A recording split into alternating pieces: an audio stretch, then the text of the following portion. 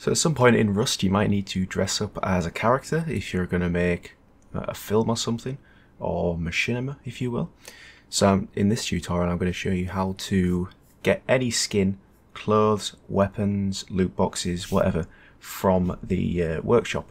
So what you're going to need for this is your own server. You could buy one, or you could use my tutorial here, which will be in an info card somewhere on the screen and in the description.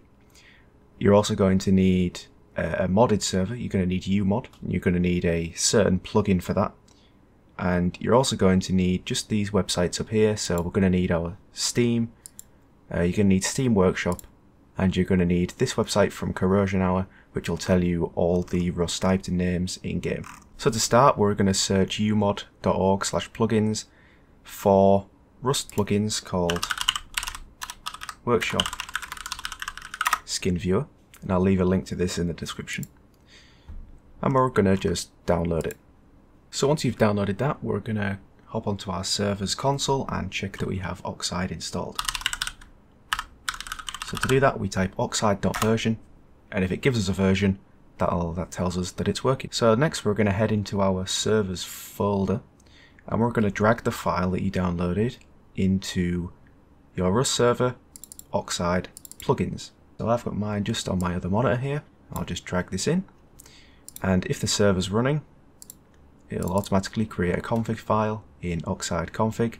We'll also see on here that it's loaded the plugin. Now just to double check, we can do oxide.reload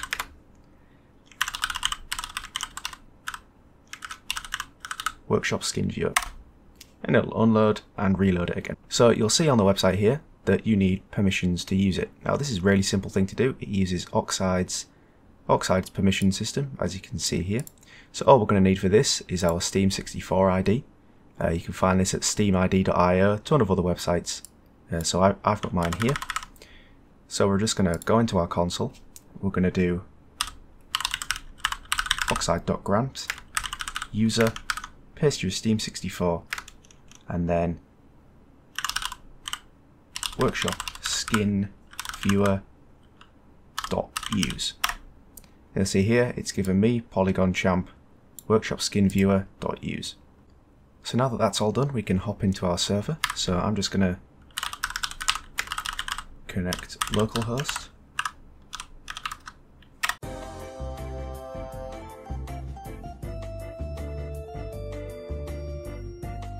Alright, so once we're in the game, we can start working on getting some skins. So let's say I want a... Let's get a Thompson. Where are they? Alright, not Thompson, sorry, we'll get an MP5. So we're going to tab out, we're going to go to the Steam Community Workshop. I'm going to search Rust. And we can find down here what we want. You see we've got clothing, we've got weapons and tools, we've got deployables, we've also got the acoustic guitar. So we're going to find the MP5, wherever that is. And let's look for a cool skin. Um, this one, actually, you know what? This one looks pretty cool. So we're going to click on this. And, yep, that looks pretty nice. So what we need to do now is we're going to take the URL. Oh, first we're going to we're going to like it first. I haven't actually signed in. So we're going to like it first, uh, if you're signed in. And we're going to go up to the URL here, and we're going to copy this ID. So if there's something like this, you want to copy the numbers before the ampersand and after the equals.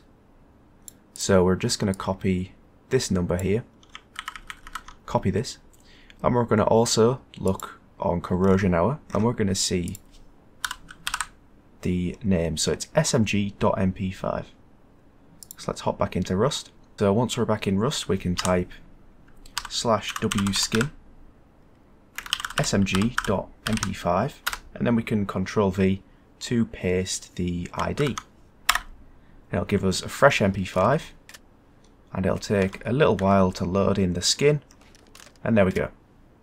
So now we've got a skinned MP5 ready to use. So that's about it for this video. Um, yeah, that, uh, that's it. That's all there is to know. See you in the next one.